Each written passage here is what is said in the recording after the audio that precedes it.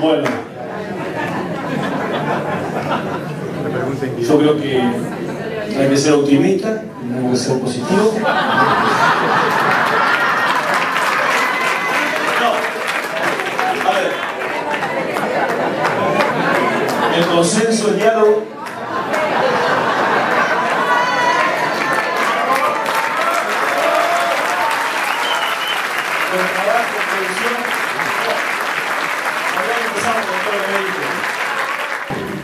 Yo decido ser candidato porque en aquella circunstancia, en realidad Cristina estaba justo, estaba, también estaba convaleciente, ustedes recordarán, la habían operado por un problema que había tenido en un coágulo en la cabeza. Habíamos perdido la elección y empezaba a, a estar la idea latente de que en realidad Cristina no tenía posibilidad de ser reelecta y que el proyecto se quedaba manco.